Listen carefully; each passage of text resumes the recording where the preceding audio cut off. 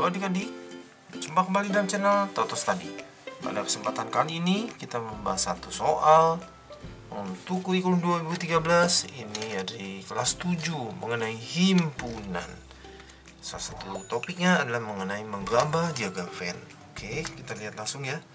Diagram Venn berbelanja buah apel dan mangga. Di atas kelompok warga yang terdiri di atas 45 orang sedang berbelanja ke pasar ternyata 20 orang membeli buah apel. 25 membeli buah mangga 5 orang membeli keduanya. Oke. Jadi ini uh, ada dua topik ya. Apel dan mangga.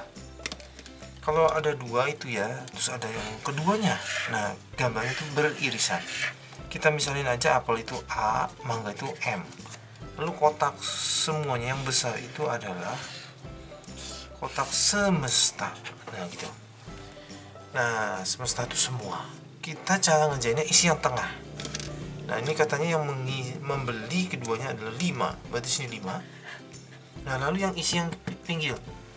Apel itu mana apel? Ah, 20 ya. Berarti di sini itu 20 kurang 5. Jadi yang segini aja. Berarti itu jawabannya 15. Oke. Sekarang yang beli mangga. Mangga itu ada 25. Oke. Kita mau isi yang ini aja berarti ini udah ada 5 nih. 25 kan semuanya ya. 25 kurang 5 berarti yang di sini 20 oke. Pertanyaan A gambarlah oh sudah tergambar ya yang B. Berapa banyak warga membeli apel atau buah mangga? Berarti yang ini boleh yang ini boleh. Atau tuh e, bisa apel saja bisa mangga saja bisa dua-duanya. Jadi jawabannya 15 tambah 5 tambah 20 kalau gitu ini jadi 40 yang C. Berapa banyak. Warga hanya membeli buah apel.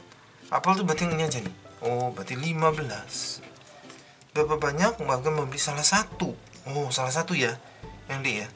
Berarti apel saja uh, ditambah yang mangga saja gitu belinya.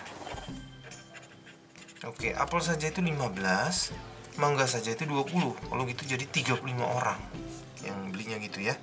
Berapa banyak yang tidak membeli? Oh iya. Diagram Venn-nya kurang lengkap sedikit. Kita lengkapi ya. Gini kan semuanya 45 orang. Ini kalau dikerjain ini udah 40 nih. 15 tambah 5 tambah uh, 20 40 ya. Berarti yang di luar nih yang nggak beli ya. Itu 45 dikurang 40 40 nya datang dari 15 tambah 5 tambah 20 berarti ada lima orang nih di luar. Di pasar tapi tidak beli apel dan tidak beli mangga. Kenapa tidak beli? Ya mungkin beli yang lain ya. Beli minyak goreng misalnya gitu. Nggak ada infonya sih ya. Oke yang E ya. Banyak yang tidak membeli? Nah jawabannya yang ini. Lima orang. Oke? Bisa ya? Oke cukup sampai di sini. Terima kasih sudah belajar bersama-sama. Jangan lupa like share subscribe untuk update-update pelajaran setiap harinya. Semoga berhasil semuanya.